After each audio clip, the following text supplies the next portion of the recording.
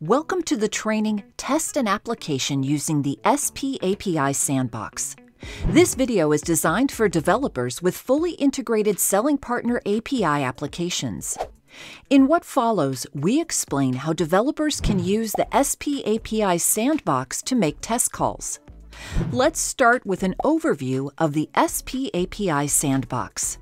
This environment allows developers to test fully integrated applications without affecting production data or triggering real-world events. Calls made to the sandbox are identical to production calls but are directed to SP API Sandbox endpoints instead of the production endpoints used for real-life calls. The sandbox endpoints for North America, Europe, and Asia Pacific, or APAC, are the same as their production counterparts, but have sandbox before the usual URL.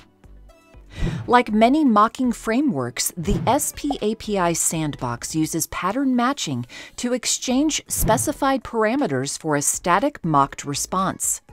You can use the sandbox to test grantless and non-grantless calls, as well as restricted and non-restricted operations.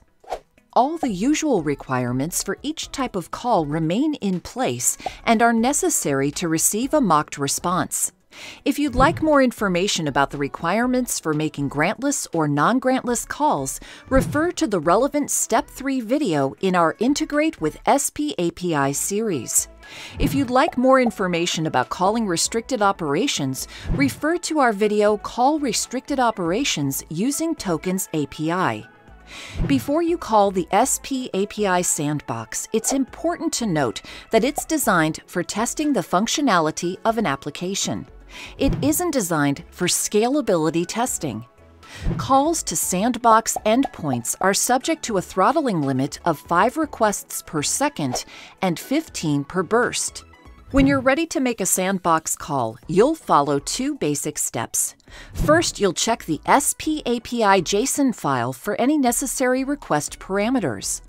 Then you'll call the sandbox to receive a response that matches the payload object. Start by locating the list of SP API models on the Selling Partner API website.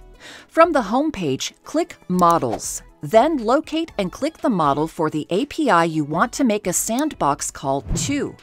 This will bring you to GitHub, where you can click the relevant Swagger model JSON file to display the code. Next, search the code for X Amazon Speeds Sandbox behaviors.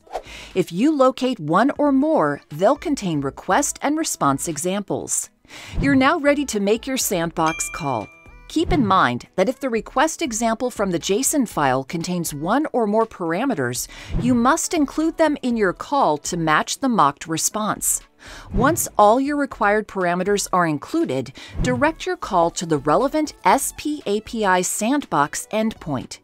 You'll receive a response that matches the payload object contained in the X Amazon Speeds Sandbox Behaviors object of the JSON file.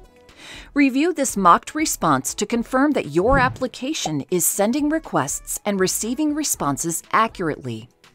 This concludes our training on the SP API Sandbox. If you'd like to learn more, visit the Selling Partner API documentation website and select Selling Partner API Sandbox from the table of contents. We also recommend reviewing the page Usage Plans and Rate Limits in the SP API. Thanks for watching.